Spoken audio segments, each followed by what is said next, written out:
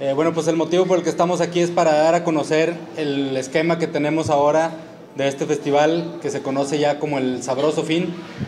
Eh, este festival viene un poquito a sustituir lo que en el pasado era la, la muestra gastronómica, que pues bueno, la muestra gastronómica como ustedes saben se hacía en un lugar en donde cada restaurante participaba con un stand.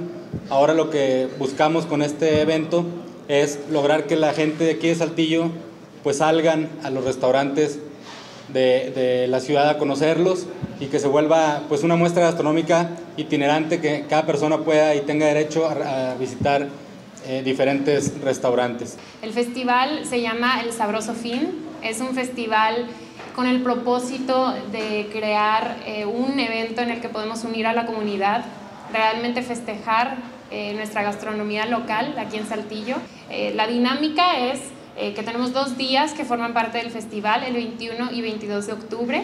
Eh, el festival tiene un horario de 1 de la tarde a 11 de la noche.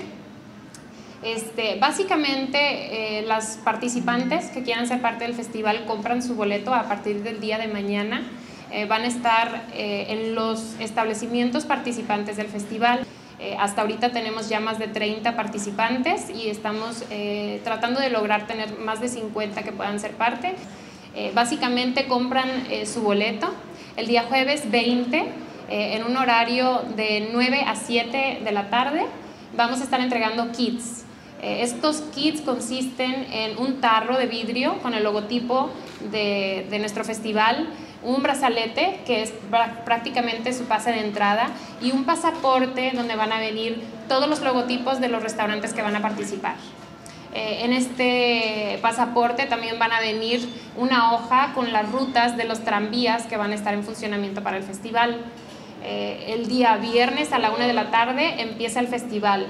El participante puede ir una vez a todos los restaurantes participantes para llegar y degustar un platillo al centro donde van a estar presentando los restaurantes lo mejor de su cocina y una cerveza de cortesía para cada participante. El temio, las brasas, fuego lento, el principal, el mesón principal, quesito, eh, las escolleras, costeñito, don Tiburcio, dogma. En el centro tenemos, eh, estamos todavía atacando muchos del centro, la terraza romana, los compadres, estamos tratando de alcanzar más restaurantes en el, en el centro. Es, totalmente familiar, no es nada más para chavos, es para cualquier edad. Va a haber restaurantes eh, que le gusta a cualquier persona de cualquier edad, desde chavitos hasta, hasta personas eh, de mayor edad va a haber de todo, van a presentar pero con el 100%, de eso nos estamos asegurando nosotros, no solo ellos están emocionados y agradecidos por esta oportunidad y van a poner todo su esmero, nosotros mismos en la cámara estamos haciendo degustación del platillo que van a presentar para asegurar que todos manejen la misma calidad y se esté presentando algo que merece la gente que va a comprar el boleto.